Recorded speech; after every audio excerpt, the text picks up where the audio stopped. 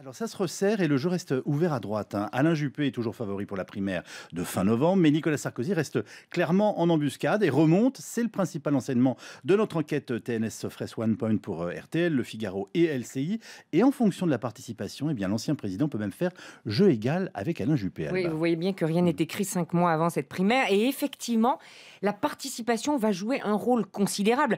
Ce qui est très intéressant avec ce sondage, Yves, c'est que plusieurs scénarios ont été envisagés. Donc il y a un scénario large avec plus de 4 millions et demi d'électeurs, un scénario dans la moyenne avec 2,6 millions de participants, et puis un scénario plus réduit à 1 million 400 000 votants. Alors, plus l'échantillon, plus le corps électoral est ramassé, plus Nicolas Sarkozy peut en bénéficier. À l'inverse, plus il y a de votants, plus Alain Juppé est renforcé. Et on le sait, c'est tout le pari de Nicolas Sarkozy que cette primaire se focalise sur le noyau dur de l'électorat de droite, dont on sait qu'il est extrêmement motivé, très sarkozyste.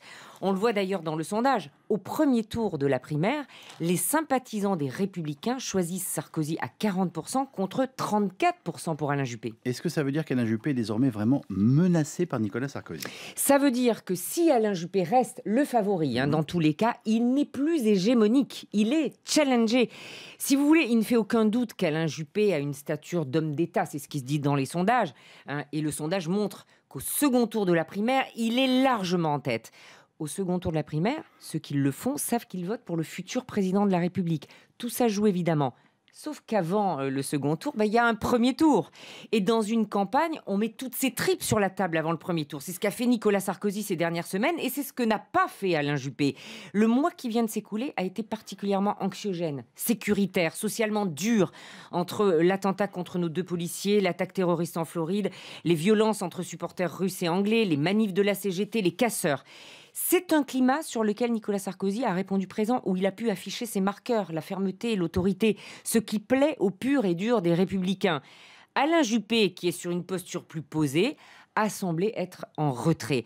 Et ses soutiens l'ont d'ailleurs reconnu. Même si on ne souhaite pas, me disait l'un d'eux, que Juppé devienne un politicard, même s'il n'est pas un homme de coup, on a clairement raté le moment qui vient de passer. Ça se voit dans le sondage.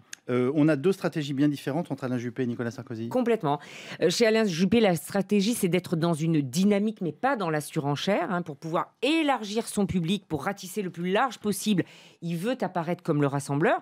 Et Nicolas Sarkozy, lui, il veut être dans la rupture, mais sans casser vaisselle, tout en paraissant authentique, crédible, en espérant que la primaire sera concentrée sur son fan club, histoire d'arriver euh, sur la première place du podium au premier tour.